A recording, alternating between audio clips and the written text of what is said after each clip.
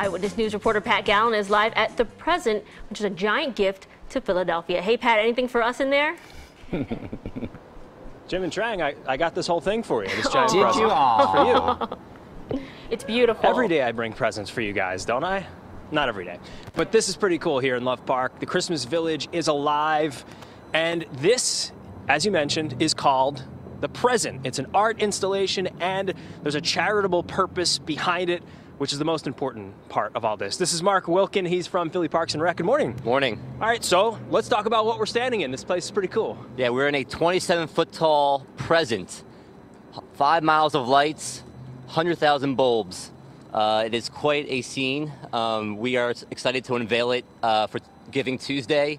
Um, we are um, at Love Park, and uh, it's not only a present, but it's also a great fundraiser for three amazing causes books for our Philadelphia Parks and Recreation kids, Fairmount Park Conservancy, and our parks, and Project Home to help the homeless. So if people come through here, the idea is that you want them to take fun pictures, take some selfies, but also donate, and it's only five bucks. Yeah, definitely hit up Instagram at hashtag Love Park Present, and then please donate to one of these great causes. Uh, once you text uh, one of the three numbers, we'll give you one of these awesome gift tags. Write your name for whatever you want to be, and then you can hang your gift uh, gift message on our wall. As I already did, Kyle right over here, Pat Gallen, CBS 3, for Love Park. Obviously, we had to shout out Love Park because it looks beautiful here for the Christmas Village. How does something like this come together? Is this a collaborative effort?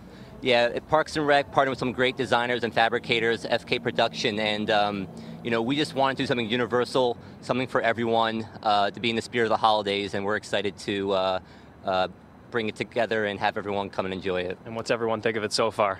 Uh, we had a lot of Instagram traffic already. Uh, we're excited to see how everyone responds to it and comes out and enjoys it um, as part of Christmas Village and the City Holiday Fest.